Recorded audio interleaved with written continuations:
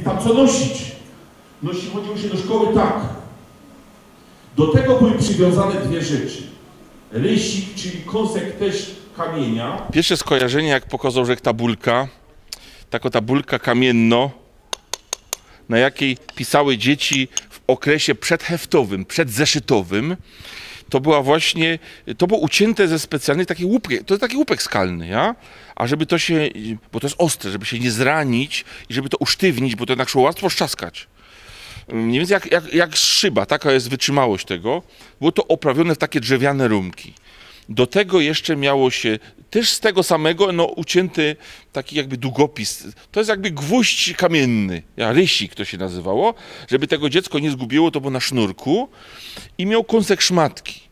I ten, to wygląda jak tablet oczywiście, czy jak mały laptopik, ja? Z jednej strony jest takie czarne, a z drugiej strony jest wkryski. Jakby chciało się na przykład pisać co.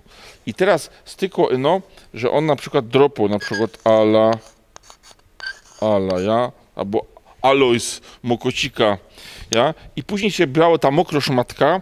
Oczywiście, jak to było za, za to się to popluło, no ale nie będę tego robił, żeby się komuś przed telewizorem źle nie zrobiło. I stykło no tą mokrą szmatką to zetrzyć i szło pisać dalej. O. I to jest takie znikopisy kiedyś były. No teraz oczywiście programy jakieś graficzne, można sobie pisać na komputerze, znikać. I, i teraz, pi, czyli pierwsze dziecka chodziły do szkoły bez niczego. Zupełnie tak, przychodził do szkoły. Siadał, co zapamiętał, to było jego.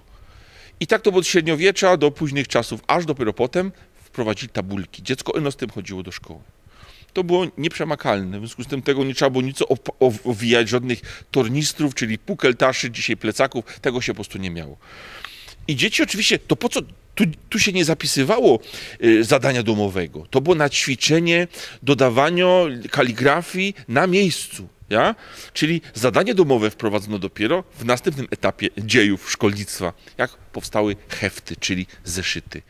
One były tak dobrze zrobione, że można było całą podstawówkę chodzić z jedną taszą. Zobaczycie sobie? A często się jeszcze dostawało ta pukeltasza, czyli ten tornister, dostawało się jeszcze od kogoś, czyli już się go dostawało stary. Jak się to roz... skóra ma to do siebie, że gruba, świńska skóra ma to do siebie, że jej właściwie trudno zniszczyć.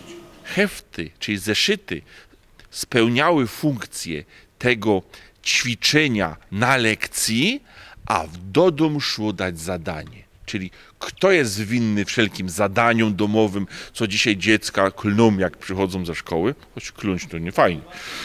Zeszyt. Winni nie są nauczyciele, nie jest szkoła, nie system, to zeszyt. Zeszyt umożliwił zadawanie zadań domu. Bały szkoły tyty to nic innego jak torebka. Po śląsku tytka znaczy torebka, a tyta wielkotorebka.